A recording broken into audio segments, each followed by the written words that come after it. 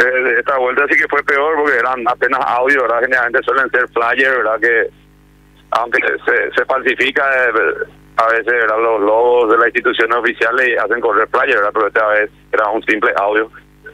Y con eso ya la gente hasta a veces se quiere valer para forzar una situación, ¿verdad?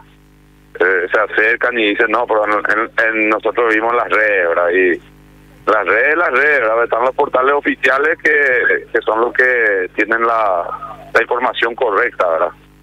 Ese mi vecino me dijo, en mi grupo de WhatsApp alzaron, eso, eso no existe, ¿verdad? Los fines legales. Entonces, quitaron por la ciudadanía que, que se informe de los sitios oficiales de la séptima región tiene su sitio oficial en el Facebook, en el Twitter, en el Instagram, en todas las redes. Lo mismo el hospital regional, el Ministerio de Salud, ¿verdad? Entonces, instar que la información o en caso de duda eh, recurran a esas páginas oficiales, ¿verdad? Ayer la vacunación era para eh, madres lactantes con factor de riesgo.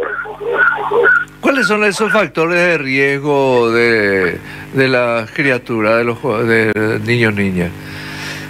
El niño no es no se le mide el factor de riesgo al niño, ¿verdad? A la madre.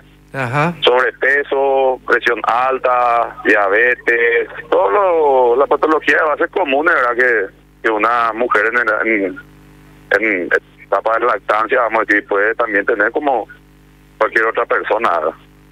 ¿Hasta, hasta qué edad? Hasta los dos años de la criatura. Ah.